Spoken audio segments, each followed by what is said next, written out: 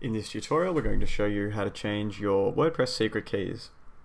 Probably the first question that we need to ask is what are the WordPress secret keys and you know, in a nutshell they are used to provide much more secure use and access of your website to everyone.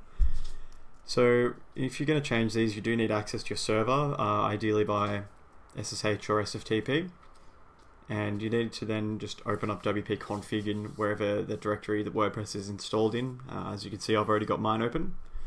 So what I now need to do is just scroll down until I find the actual secret keys in WordPress. Now, as you can see, we've got quite a number of them. We've got a total of eight. And if we'd like to actually generate more, we can use this link here. You can see it's already in there for us to use if we do need to.